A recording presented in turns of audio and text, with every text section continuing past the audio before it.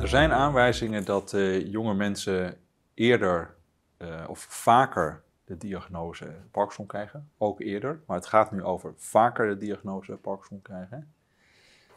Um, maar er is wat een genuanceerd antwoord. Er zijn aanwijzingen in de literatuur dat het aantal mensen die jong de diagnose krijgen toeneemt. Dat is een, studie uit Amerika waarin ze gekeken hebben naar de laatste 40 jaar.